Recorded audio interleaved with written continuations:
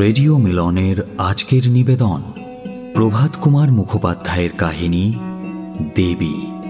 Do like share and subscribe our YouTube channel for more audio stories and press the bell icon for notification শুরু হতে চলেছে প্রভাত কুমার মুখোপাধ্যায়ের কাহিনী, দেবী।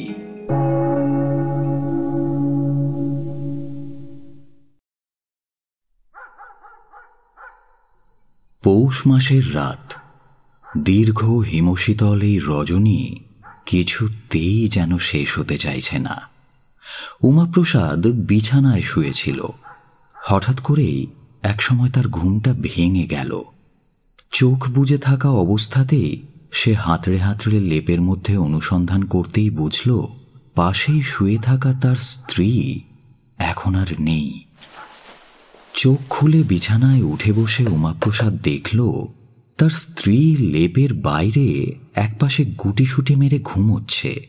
কনকনে ঠান্ডায় তার শরীরটা মাঝে মধ্যে ঈষৎ কেঁপে কেঁপে উঠছে। উমাপ্রসাদ খুব সন্তর্পণে উঠে এসে স্ত্রীর গায়ে লেপখানা চাপিয়ে দিল। ভালোভাবে একবার এদিক সেদিক চেয়ে দেখল। পুরো শরীরটা ঠিক করে ঢাকা হয়েছে তো? বছর কুড়ির এক তরতাজা যুবক উমাপ্রসাদ, সম্প্রতি সংস্কৃত ছেড়ে শখ করে পারস্য ভাষা শেখা আরম্ভ করেছে। খুব ছোটবেলায় তার মাতৃবিয়োগ হয়েছে। বাবা পরম পণ্ডিত, অত্যন্ত ধার্মিক এবং এক নিষ্ঠাবান উপাসক। তার উপরে গ্রামের জমিদার, সুতরাং সামাজিক সম্মানের সীমা পরিসীমা নেই বললেই চলে। অনেকের বিশ্বাস, উমাপ্রসাদের বাবা কালীকিঙ্কর রায় মহাশয় একজন প্রকৃত সিদ্ধ পুরুষ। আত্মাশক্তির বিশেষ অনুগ্রহ রয়েছে তার জীবনে। তাই গ্রামের আবাল বৃদ্ধ বনিতা সকলেই তাকে দেবতার মতো শ্রদ্ধা করে। উমাপ্রসাদের বিয়ে হয়েছে আজ থেকে প্রায় বছর পাঁচ ছয়েক আগে। তবে নিজের জীবনে খুব সম্প্রতি নবপ্রণয়ের মাদকতা অনুভব করতে আরম্ভ করেছে সে। সুতরাং ষোড়শী স্ত্রী দয়াময়ীর সঙ্গে ঘনিষ্ঠতার সূত্রপাত এই নতুন। ভালো করে লেপ দিয়ে দয়াময়ীর শরীরটা ঢেকে দেবার পর উমাপ্রসাদ তার গালে একখানা হাত রাখে। ওহ শরীরটা বরফের মতো ঠান্ডা হয়ে গেছে। ধীরে ধীরে মুখটা নামিয়ে এনে উমাপ্রসাদ স্ত্রীর কপালে ঠোঁট দিয়ে একটা আদরের বিন্দু এঁকে দেয়। এতক্ষণ যেমন নিয়মিত তালে দয়াময়ীর নিঃশ্বাস পড়ছিল এখন তাতে ব্যতিক্রম ঘটল। স্ত্রী যে জেগে গিয়েছে সেটা বুঝে উমাপ্রসাদ মৃদু স্বরে ডাক দিল দয়া দয়া। কি? তুমি বুঝি জেগে রয়েছ? না ঘুমোচ্ছিলাম। ঘুমোচ্ছিলে? তাহলে উত্তর দিল কে? না মানে আগে ঘুমোচ্ছিলাম। এখন জেগে উঠলাম। এখন কখন? ঠিক কোন সময়? কোন সময় আবার? সেই তখন। কখন? যাও আমি জানি না। এই বলে দয়া স্বামীর দু হাতের আলিঙ্গন থেকে মুক্ত হওয়ার জন্য বৃথা চেষ্টা করতে লাগল। এদিকে সে ঠিক কখন জেগেছে কিছুতেই বলবে না আর ওদিকে তার স্বামীও উত্তর না জানা অবধি ছেড়ে দেওয়ার পাত্র নয়। কিছু সময় এমন মান অভিমানের পর দয়ার পরাজয় হলো। সে উত্তর দিল সেই যখন তুমি হুম? বলো। আমি কি? সেই যখন তুমি আমার চুমু খেলে হলো? মা গো মা এত জ্বালাও না তুমি? রাত শেষ হতে এখনও অনেকটা সময় বাকি। বেশ কিছুক্ষণ চুপচাপ থাকার পর উমাপ্রসাদ বলল দয়া হুম। ভাবছি আমি পশ্চিমে চাকরি করতে বেরোবো। তোমার আবার চাকরি করার কি দরকার? তোমার কিসের দুঃখ? জমিদারের ছেলে হয়ে কেউ চাকরি করে নাকি? হ্যাঁ আমার এখানে দুঃখ আছে বই কি? কি দুঃখ শুনি? তুমি যদি আমার দুঃখ বুঝতে তাহলে কি আর আমার দুঃখ থাকতো? স্বামীর কথা শুনে দয়াময়ী ভারী অপ্রস্তুত হয়ে পড়ল। ভাবতে লাগল কি দুঃখ হতে পারে। কিন্তু হাজার কথা ভেবেও কিছুই স্থির করতে পারল না সে। কেবল ঠাট্টার সুরে বলে উঠল এবারে বুঝেছি তোমার কিসের দুঃখ। আমি বুঝি তোমার মনের মতন হইনি তাই তোমার এত যন্ত্রণা? যদিও দয়াময়ী জানত হে কথা বললে উমাপ্রসাদকে উল্টে আঘাত করাই হবে। স্ত্রীর কথা শুনে উমাপ্রসাদ খানিক চোখ পাকিয়ে তাকালো তার দিকে এবং পরক্ষণেই প্রিয়ার মুখে অজস্র চুম্বন করে সেই আঘাতের প্রতিশোধ নিল সে। তারপর বলল, আমার দুঃখ তোমাকে নিয়েই বটে। সারাটা দিন আমি তোমায় পাই না। কেবল রাত্রিরটুকু পেয়ে স্বাদ মেটে না। বিদেশে যেখানে চাকরি করতে যাব সেখানে তোমায় সঙ্গে নেব। কেমন দুজনে একলা থাকব? চাকরি করবে তো সারাদিন আমাকে নিয়ে থাকবে কেমন করে? আমাকে তো একলা ফেলে তুমি কাছারি চলে যাবে। হ্যাঁ তা যাব বটে। কিন্তু কাছারি গিয়েও যত তাড়াতাড়ি সম্ভব কাজ সেরে শিগগির ফিরে আসব। দয়া ভেবে দেখল তা হতে পারে বটে। কিন্তু বাধা বিপত্তি যে অনেক। খানিক চুপ থেকে সে স্বামীকে প্রশ্ন করল তুমি তো নিয়ে যাবে কিন্তু সবাই যেতে দেবে কেন? এখানে কেউ জানতে পারলে তবে তো। এ বাড়ি থেকে তো আর নিয়ে যাব না। যখন তুমি বাপের বাড়ি যাবে তখন চুপি চুপি সেখানে গিয়ে তোমায় নিয়ে এসে বিদেশের দিকে রওনা দেব। তাও কি সম্ভব নাকি? সব সম্ভব। কতদিন থাকব সেখানে? অনেক বছর। স্বামীর উৎসাহ দেখে দয়াময়ী ভারী মজা পেল। মুচকি হেসে কি একটা বলতে যাচ্ছিল সে। কিন্তু হঠাৎ অন্য একটা কথা তার মনে পড়ে যেতেই সে প্রশ্ন করল কিন্তু খোকাকে ফেলে এত বছর আমি বিদেশে থাকতে পারব? উমাপ্রসাদ স্ত্রীর গালে গাল ঠেকিয়ে বলে উঠল ততদিনে তোমারও একটা খোকা হবে। কথাটা শুনে দয়াময়ীর ভরসা মুখটা লজ্জায় লাল হয়ে উঠল কিন্তু অন্ধকারে তা আর কেউ দেখতে পেল না। এই খোকাটি হল উমাপ্রসাদের বড় দাদা তারাপ্রসাদের একমাত্র সন্তান। এই পরিবারের বংশধরের আসন বহু কাল শূন্য ছিল। তাই তারাপ্রসাদের এই ছেলেটি জন্ম নেবার পর থেকে বাড়ি শুদ্ধ সকলের নয়নের মণি। সেই জন্য খোকার মা হরসুন্দরীর যেন গর্বে মাটিতে পাই পড়ে না। আচ্ছা আজ খোকা এখনও এলো না কেন? ভোর রাত্রিরে রোজই খোকা কাকিমার কাছে আসে। এটা তার নিত্য নৈমিত্তিক কাজ। যদিও বাড়িতে দাস দাসীর অভাব নেই, তবুও ঘর সংসারের অধিকাংশ কাজই দয়াময়ী নিজের হাতেই করত। বিশেষত তার শ্বশুরমশাইয়ের পূজাহ্নিক সম্পর্কীয় যা যা কিছু কাজ ছিল, তাতে দয়াময়ী ছাড়া আর কারোর হাত দেওয়ার অধিকার অবধি ছিল না। সারাদিন এই সমস্ত কাজে ব্যস্ত থাকলেও খোকাকে সে কখনো এক মুহূর্তের জন্য চোখের আড়াল করত না।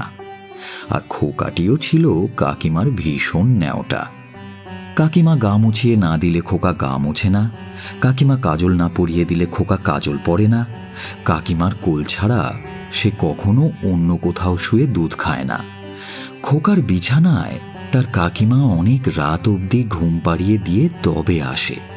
ভোর রাত্রে ঘুম ভাঙতেই খোকা কাকিমা কাকিমা বলে কান্না জুড়ে দেয়। এমন অন্যায় আবদারের জন্য মাঝে মাঝে তাকে মা হরসুন্দরীর কাছ থেকে চর চাপড়ও খেতে হয়। কিন্তু তাতে কান্না না থেমে আরও দশ গুণ বেড়ে যায়। তখন হরসুন্দরী বাধ্য হয়ে ছেলেকে কোলে করে নিয়ে ঘুমের ঘোরে টলতে টলতে ছোট জায়ের ঘরের সামনে এসে ডাক দেয়। ছোট বউ? আরে ও ছোট বউ। এই নে সামলা তোর খোকাকে। এই বলে দয়াময়ীর দরজা খোলার অপেক্ষা না করেই সে খোকাকে মাটিতে বসিয়ে নিজের ঘরের দিকে পা বাড়ায় ঘুমোতে যাওয়ার জন্য। দয়া প্রায়ই জেগে থাকে। না থাকলেও খোকার কান্নার আওয়াজে তাড়াতাড়ি জেগে ওঠে।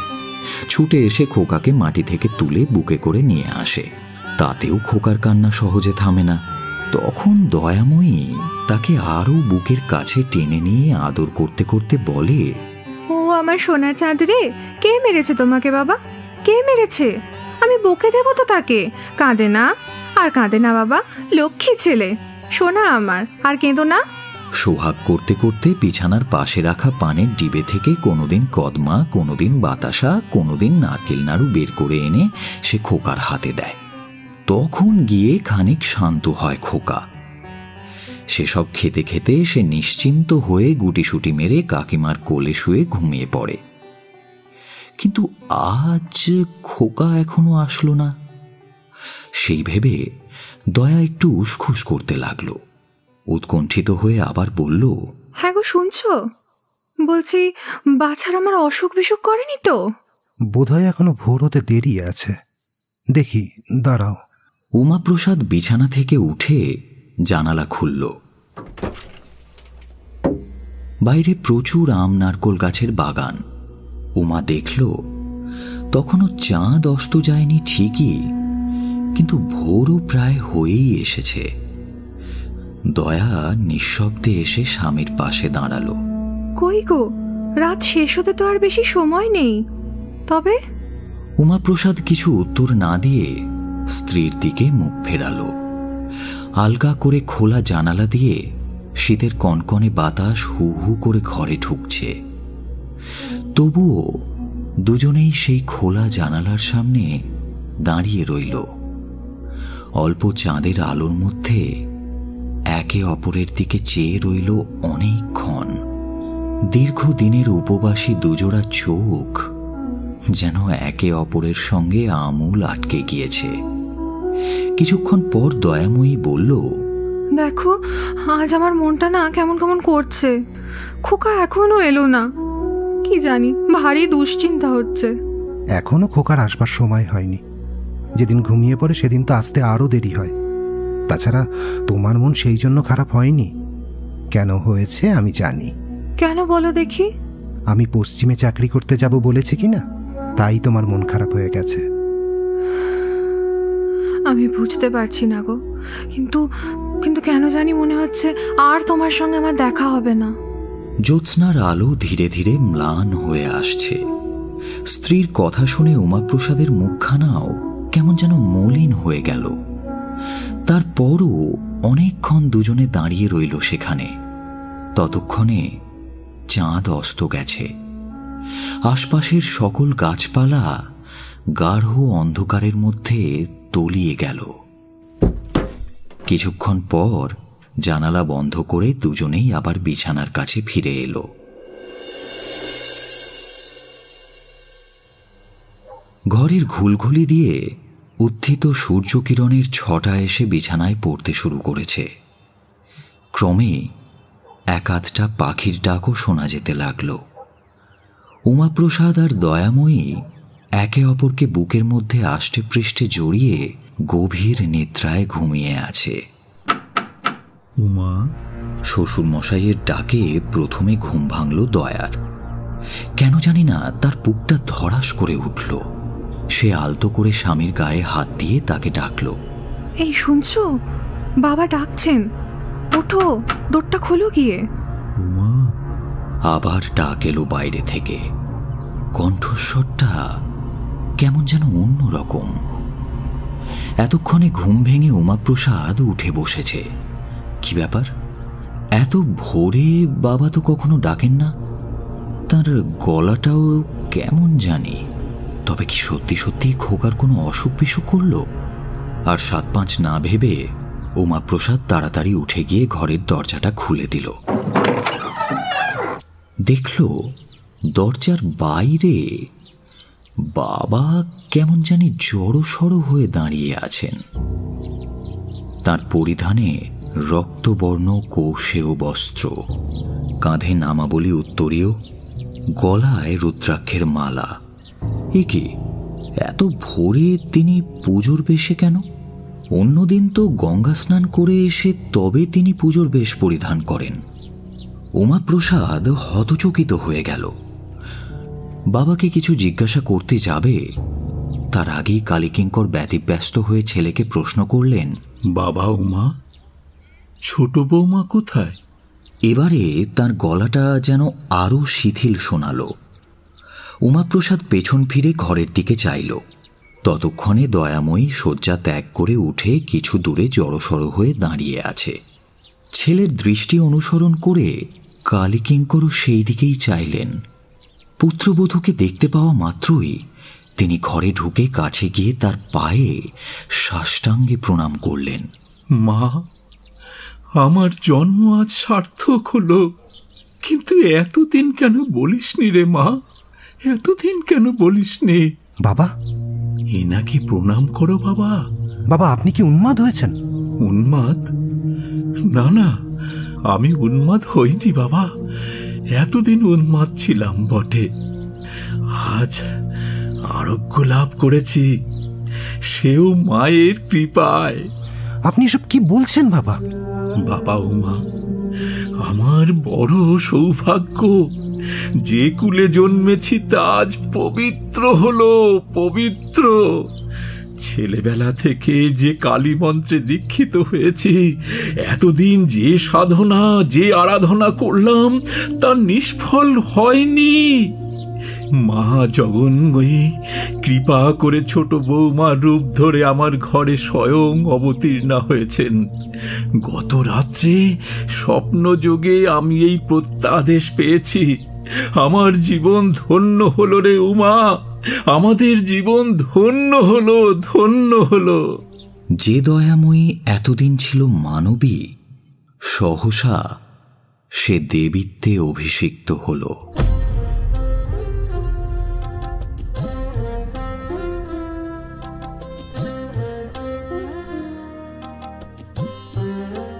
এই ঘটনার পর প্রায় তিন দিন পেরিয়ে গেছে। গত কদিনে এই খবর চারিদিকে আগুনের মতন ছড়িয়ে পড়েছে। আশেপাশের বহু গ্রাম থেকে বহু লোক এসে প্রসিদ্ধ শাক্ত জমিদার কালীকিঙ্কর রায়ের বাড়িতে দয়াময়ী রূপিণী আদ্যাশক্তিকে দর্শন করে গিয়েছে।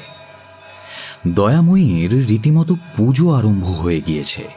ধূপদীপ জেলে শঙ্খ ঘণ্টা বাজিয়ে ষোড়শোপচারে তার পুজো হয় এখন।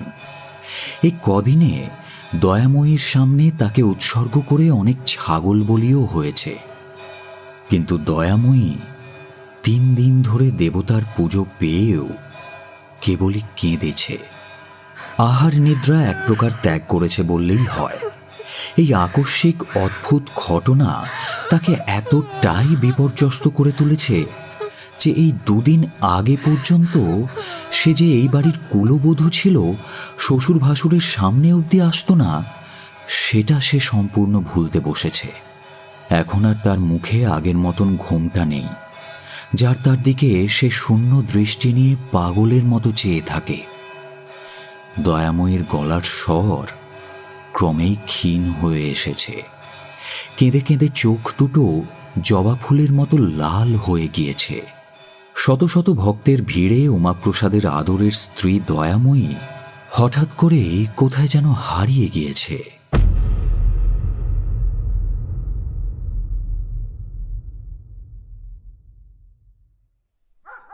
রাত তখন দ্বীপ্রহর। পুজোর ঘরের কোণে একখানা প্রদীপ মিটমিট করে জ্বলছে। পুরু কম্বলের বিছানায় রেশমি বস্ত্রের আবরণ। তার ওপর শুয়ে আছে দয়াময়ী। গায়ে একখানা মোটা শাল। ঘরের দরজা আলগা করে কেবল ভেজানো ছিল। এবার অত্যন্ত ধীরে ধীরে সেটা খুলতে লাগল। ঘরের মধ্যে চোরের মতো সন্তর্পণে এসে ঢুকল উমাপ্রসাদ। বাইরের চারপাশটা একবার ভালো করে দেখে নিয়ে সে দরজাটা বন্ধ করে। দয়াময়ী বিছানায় উঠে বসল। সেই দিনের ভোরের বেলার ঘটনার পর স্ত্রীর সঙ্গে এই প্রথম নিভৃতে সাক্ষাৎ হল উমাপ্রসাদের। কাতর কণ্ঠে সে বলল দয়া এ কি হলো? আজ তিন দিন পর দয়া স্বামীর মুখ থেকে স্নেহমাখা কথা শুনতে পেল। এই তিন দিনে ভক্তগণের মা মা ডাকে তার মনের ভেতরটা মরুভূমির মতো শুষ্ক হয়ে পড়েছিল। প্রাণাধিক প্রিয় স্বামীর কাছ থেকে সেই পুরনো ডাক শুনে তার প্রাণের শুষ্ক ভূমিতে হঠাৎ করেই যেন ঝমঝমিয়ে বৃষ্টি নামল। দয়া কিচ্ছু বলে না। স্বামীর বুকে মুখ লুকিয়ে কাঁদতে লাগল শুধু। উমাপ্রসাদ স্ত্রীর গায়ের শালটা খুলে ফেলে তাকে আষ্টে পৃষ্ঠে বুকের মধ্যে জড়িয়ে ধরল। দয়া। দয়া তখনও নির্বাক। কেবল ফুঁপিয়ে ফুঁপিয়ে কেঁদেই চলেছে। উমাপ্রসাদ কিছুক্ষণ চুপ করে থাকার পর আবার বলল দয়া তোমার কি মনে হয় যে কথা সত্যি? তুমি আমার দয়া নও তুমি দেবী? না না না আমি তোমার স্ত্রী ছাড়া আর কিচ্ছু নই। আমি তোমার দয়া ছাড়া আর কিছু নই গো। আমি দেবী নই আমি কালিও নই আমি শুধু তোমার দয়া শুধু তোমার। দয়া তাই যদি হয় তবে চলো। লক্ষ্মীটি আমরা এখান থেকে পালিয়ে যাই। এমন কোনো দূরদেশে গিয়ে থাকব যেখানে কেউ আর আমাদের সন্ধান পাবে না। তাই চলো কিন্তু কি উপায় যাবে? সে সব ব্যবস্থা আমি ঠিক করে ফেলব। কিন্তু এতে একটু সময় লাগবে। কবে কবে শিগগিরই ঠিক করো। নইলে বেশি দিন আমি বাঁচবো না। আমার ভেতরটা শেষ হয়ে যাচ্ছে। এসবের মধ্যে থেকে দম বন্ধ হয়ে আসছে আমার। যদি মৃত্যু না হয়, তবে আমি নিশ্চিত পাগল হয়ে যাব। না, তুমি কিছু ভেবো না। কেবল দিন সাতেক তুমি ধৈর্য ধরে থাকো। আর শনিবার, আগামী শনিবার রাত্রে আমি আবার তোমার কাছে আসব। তোমাকে নিয়ে বাড়ি ছাড়বো। এই সাত দিন তুমি আশায় বুক বেঁধে কাটিয়ে দাও সোনা আমার। আচ্ছা। এখন তবে যাই কেউ আবার এসে না পড়ে। এই বলে সে স্ত্রীকে একবার দৃঢ়ভাবে আলিঙ্গন করে বিদায় নিল।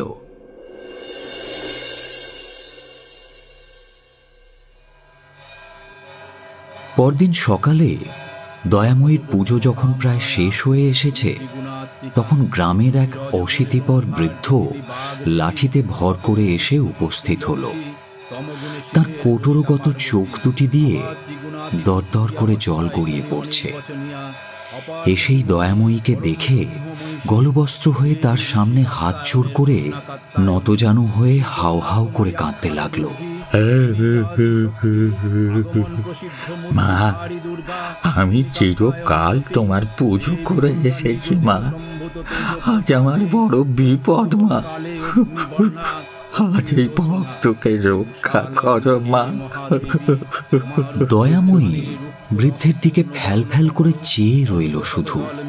পুরোহিত জিজ্ঞেস করল, কেন দাদা, তোমার আবার কি বিপদ হলো? আমার নাতিটি কয়দিন ধরে জ্বরে ভুগছিল। আজ সকালে কৌরেজ মশাই জবাব দিয়ে গেছেন, সে না বাঁচলে আমার বংশ লোপ হয়ে যাবে। আমার বিটে সন্ধে দেওয়ার আর কেউ থাকবে না গো। তাই মার কাছে প্রাণ ভিক্ষা চাইতে এসেছি। মা গো, বাঁচিয়ে দে মা। কালীকিঙ্কর চণ্ডী পাঠ করছিলেন। তিনি বৃদ্ধের কষ্টে অত্যন্ত মর্মাহত হয়ে দয়াময়ীর মুখের দিকে চেয়ে বললেন মা গো বুড়োর নাতনিটাকে বাঁচিয়ে দিতে হবে মা। ও দাদা শোনো তোমার নাতনিটাকে এনে মায়ের পায়ের কাছে ফেলে রাখো। জমের বাবারও সাধ্য হবে না এখান থেকে তাকে নিয়ে যেতে। মা মা গো মা। কালীকিঙ্করের কথা শুনে বৃদ্ধ মহা আশ্বস্ত হয়ে জ্যোষ্ঠীতে ভর দিয়ে নাতিকে আনতে ঘরের দিকে ছুটলেন। কিছুক্ষণ পরে বিধবা পুত্রবধূর কোলে নাতিটার সঙ্গে বৃদ্ধ ফিরে এলেন। দয়াময়ীর পায়ের কাছে বিছানা করে মৃতপ্রায় শিশুটিকে রাখা হলো।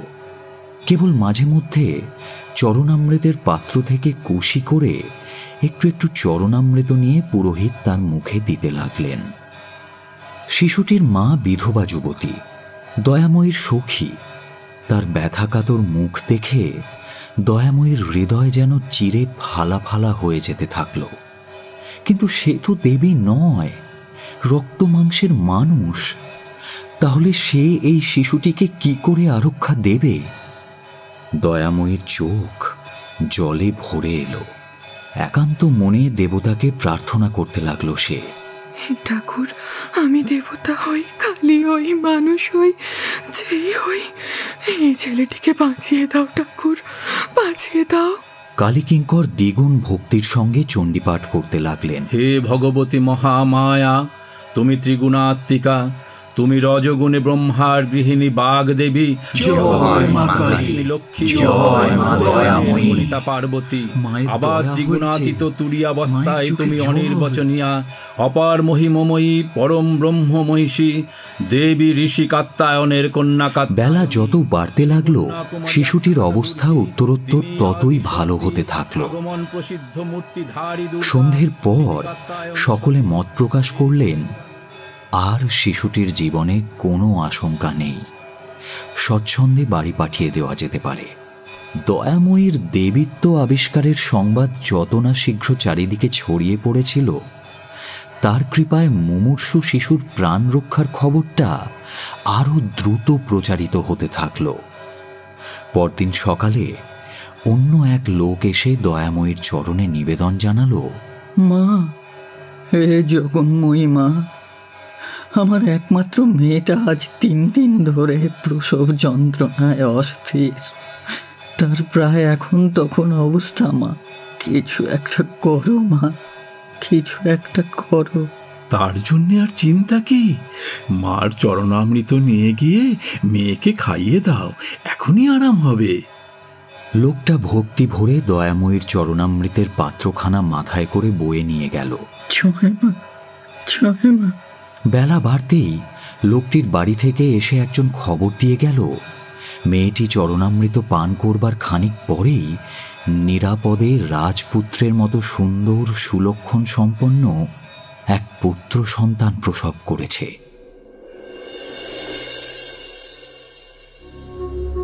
দেখতে দেখতে শনিবার এসে উপস্থিত হল।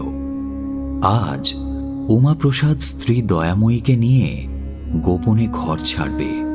সমস্ত আয়োজন সম্পন্ন। খুব কষ্টে টাকার জোগাড় করেছে সে। মুর্শিদাবাদ, রাজমহল কিংবা বর্ধমান এমন কাছাকাছি জায়গায় সে যাবে না। তাতে ধরা পড়ার বিস্তর সম্ভাবনা। নৌকোপথে পশ্চিমেই যাবে। অনেক দূরে। হয় ভাগলপুর, নয় মুঙ্গের। সেখানে গিয়ে চাকরির চেষ্টা করবে সে। পথ খরচের মতো অর্থ তার কাছে আছে। তাছাড়া দয়ার গায়ে যা অলংকার আছে, সেসব বিক্রি করলেও আশা রাখা যায়, কোনো রকমে দু বছর অন্তত দুজনের গ্রাসাচ্ছাদন চলতে পারে। সেই দু বছরে কি তার একটাও চাকরি জুটবে না? নিশ্চয়ই জুটবে। চেষ্টার অসাধ্য কিছু আছে নাকি? এমন নানা চিন্তায় উমাপ্রসাদ সারাটা দিন অস্থিরভাবে পার করে দিল। ক্রমে সন্ধ্যা হয়ে এলো। আজ সে দয়াময়ীর আরতি দেখবে। এখনও পর্যন্ত একদিনও দেখেনি। যখন শঙ্খ ঘণ্টা ধ্বনিতে চণ্ডীমণ্ডপ মুখরিত হয়, পুজো আরম্ভ হয়, তখন উমাপ্রসাদ বাড়ি ছেড়ে গ্রামের বাইরে পালিয়ে যায়। আজ দয়াময়ীর শেষ আরতি। আজ সে দেখবে। দেখবে আর মনে মনে হাসবে। আগামীকাল সকালে পুরোহিত ঠাকুর যখন সবার আগে এসে দেখবেন যে দেবী অন্তর্ধান করেছেন, তখন তার অবস্থা কেমন হবে, তা কল্পনা করেই উমাপ্রসাদের হাসি পেল।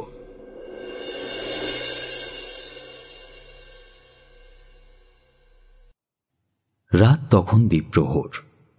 বাড়ির সকলে নিদ্রায় মগ্ন। চোরের মতো শয্যা ত্যাগ করে উমাপ্রসাদ এসে অন্ধকারে ধীর পায়ে পুজোর ঘরের দিকে এগিয়ে যায়। ভেজানো দরজা খুলে ফেলল সে। ঘরের কোণে একই রকমভাবে একখানা প্রদীপ মিটমিট করে জ্বলছে। স্ত্রীর বিছানায় গিয়ে উমাপ্রসাদ বসল। দয়াময়ী তখন নিদ্রামগ্ন। উমাপ্রসাদ স্ত্রীর ঘুমন্ত মুখের দিকে খানিক্ষণ তাকিয়ে রইল। তারপর সস্নেহে তার কপালে একটু চুমু খেতেই ঘুম ভেঙে ধর্মর করে বিছানায় উঠে বসল দয়াময়ী। দয়া এত ঘুম তোমার। ওঠো চলো। কোথায় যাব? কোথায়? যাবার সময় তুমি জিজ্ঞেস করছ কোথায়? তাড়াতাড়ি চলো ঘাটে নৌকা অপেক্ষা করছে। তোমার মনে নেই দয়া? আজ রাতেই পশ্চিমের উদ্দেশ্যে রওনা হবার কথা ছিল আমাদের। দয়াময়ী কিছুই বলে না। নীরবে কি যেন চিন্তা করতে লাগল। ওঠো ওঠো পথে গিয়ে ভেবো যা ভাবার। এখন সব ঠিকঠাক করে রেখেছি। চলো। কথাটা শেষ করেই উমাপ্রসাদ স্ত্রীর ডান হাতের কবজিখানা চেপে ধরে। উঠে আসার জন্য তাড়া দেয়। কিন্তু দয়াময়ী হঠাৎই হাতটা ছাড়িয়ে নিয়ে বলল তুমি আর এভাবে আমাকে স্পর্শ করো না। আমি যে দেবী নই আমি যে তোমার স্ত্রী তা আমি আর নিশ্চিত করে বলতে পারি না। কথাটা শুনে উমাপ্রসাদ হেসে উঠল। না না এমনটা আর করো না। এতে হয়তো তোমার অকল্যাণ হবে। এ কথায় উমাপ্রসাদ যেন বজ্রাহত হল। তার মনে হলো তার পায়ের তলার মাটিটা যেন কাঁপছে। অতি কষ্টে একবার ঢোক গিলে বলল দয়া তুমিও কি বাকি সকলের মতন পাগল হয়ে গেলে? তবে এত লোক রোগমুক্ত হলো কেন? তাহলে কি দেশশুদ্ধ লোক পাগল? উমাপ্রসাদ অনেক করে স্ত্রীকে বোঝালো তাকে অনুনয় করল অনেক কাঁদল কিন্তু দয়াময়ীর মুখে কেবল সেই একই কথা। না না না তোমার অকল্যাণ হবে। হয়তো আমি তোমার স্ত্রী নই হয়তো আমি দেবী। তুমি দেবী হলে এমন পাশানি হতে না। এত করে তোমায় বলছি এত কাতর হয়ে অনুরোধ করছি তাতেও তোমার মন গলছে না। ওগো তুমি আমাকে বুঝতে পারলে না। বিছানা ছেড়ে উঠে পড়ল উমাপ্রসাদ। রাগে দুঃখে সে যেন চোখে অন্ধকার দেখছে। কিছুক্ষণ সে ঘরের মধ্যে অস্থিরভাবে পায়চারি করতে লাগল। পরক্ষণেই হঠাৎ আবার দয়াময়ীর কাছে ফিরে এসে বলল দয়া দয়া আমার সঙ্গে তোমার বিয়ে হয়েছিল তো? তা হয়েছিল বই কি? তুমি যদি দেবী হও তুমি যদি কালী হও তাহলে তো আমিও মহাদেব। নইলে তোমার সঙ্গে আমার বিয়ে হলো কি করে? তুমি যদি আদ্যাশক্তি ভগবতী হও তবে নরলোকে কার সাধ্য যে তোমাকে বিয়ে করে? আমি যে আমি যে তোমাকে বিয়ে করেছি এতদিন যে আমি তোমার স্বামীর আসনে অধিষ্ঠিত হয়েছি এতেই তো বোঝা যাচ্ছে যে আমিও মানুষ নই আমিও দেবতা আমি স্বয়ং মহেশ্বর। যদি তাই হয় তবে আমি তোমার স্ত্রী। দেবী হই মানুষ হই আমি তোমার স্ত্রী। এ কথা শুনে উমাপ্রসাদ যেন হাতে স্বর্গ পেল। স্ত্রীকে বুকে জড়িয়ে ধরল সে। চলো তবে আমরা চাই এখানে যত দিন থাকব ততদিন তোমাকে আমাকে আলাদা করে রেখে দেবে এরা সবাই। চলো। খানিকটা হেঁটে গঙ্গার ধারে পৌঁছে নৌকো চড়তে হবে। কিন্তু কিছু দূর আসার পর দয়াময়ী হঠাৎ থমকে দাঁড়িয়ে পড়ল। বলল আমি যাব না। এবার তার কণ্ঠস্বর অত্যন্ত দৃঢ়। উমাপ্রসাদ আবারও অনুনয় বিনয়ের সঙ্গে স্ত্রীকে সাধাসাধি করতে লাগল। কিন্তু কিছুতেই কিছু লাভ হলো না। দয়াময়ী বলল আমি যদি দেবী হই তুমি আমার স্বামী মহেশ্বর তবে দুজনেই এখানে থাকি। দুজনেই পুজো গ্রহণ করি। পালাবো কেন? এতজনের ভক্তিতে আঘাত কেন দেব বলো তো? আমি পালাবো না। চলো না ফিরে যাই। ভীষণ মর্মাহত হল উমাপ্রসাদ ছলছলে চোখে অস্ফুটে বলল, তুমি একা ফিরে যাও। আমি যাব না। শেষ পর্যন্ত তাই হল। দয়াময়ী একাই তার দেবীত্বের রাজ্যে ফিরে গেল। আর উমাপ্রসাদ, সেই নিশীথ অন্ধকারে কোথায় যে মিলিয়ে গেল, পরদিন থেকে তার আর কোনো হদিশই পাওয়া গেল না।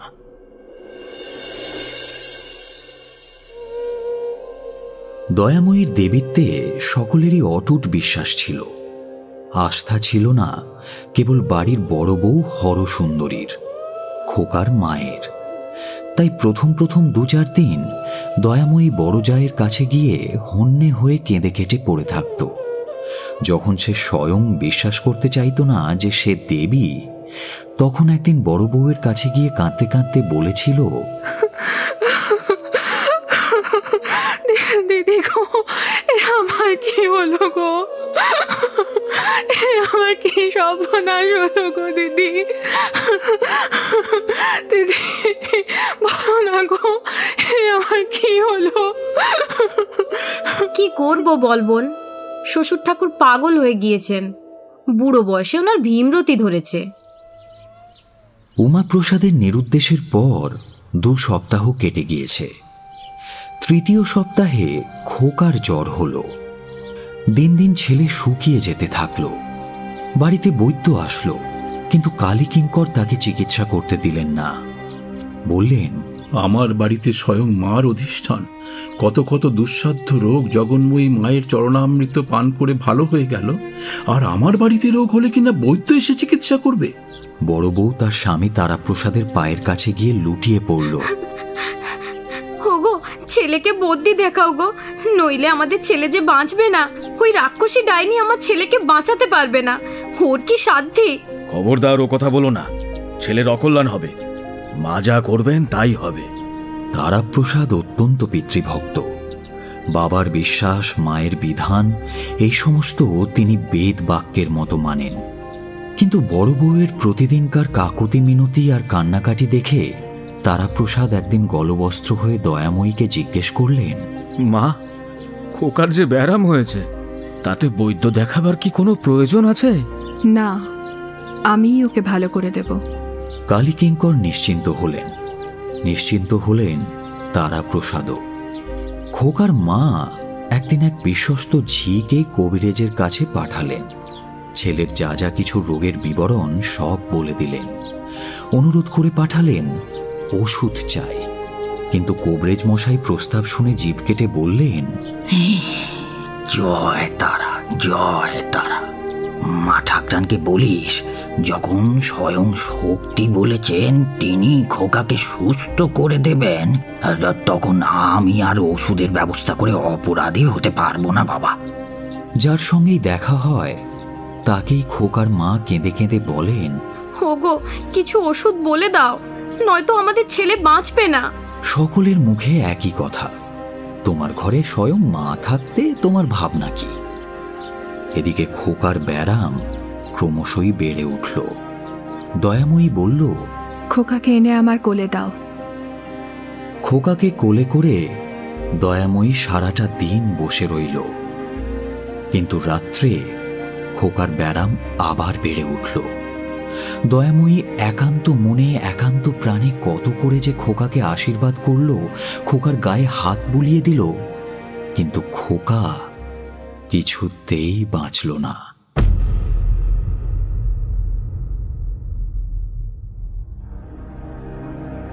যখন খোকার মৃত্যু সংবাদ বাড়িতে প্রচারিত হলো, তখন তারাপ্রসাদ অধীর হয়ে ছুটে এলো। ভর্ৎসনার সুরে দয়াময়ীকে বলল, রাক্ষসী! খোকাকে নিলি কিছুতেই মায়া ত্যাগ করতে পারলি না। খোকার মা প্রথমে শোকে অত্যন্ত বিহ্বল হয়ে গেল। যখন কতকটা সুস্থ হলো তখন দয়াময়ীকে যা মুখে আসলো তাই গালমন্দ করল। ও দেবী কোথায়? ও ডাইনি দেবী কখনো ছেলে খায়? ছলো ছলো চোখে কালীকিঙ্কর দয়াময়ীর কাছে গিয়ে বলল খোকাকে ফিরিয়ে দে মা খোকাকে ফিরিয়ে দে। এখনও দেহ নষ্ট হয়নি। ফিরিয়ে দে, মা। ফিরিয়ে দে ফিরিয়ে দে। দয়াময়ী ঝরঝর করে কাঁদতে লাগল। মনে মনে যমরাজকে উদ্দেশ্য করে আজ্ঞা করল, এখনই খোকার আত্মা খোকার শরীরে ফিরিয়ে দেওয়া হোক। কিন্তু তাতেও কোনো কাজ হলো না।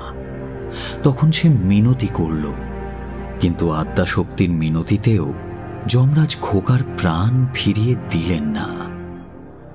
এবার নিজের দেবীত্বে দয়ার অবিশ্বাস জন্মালো।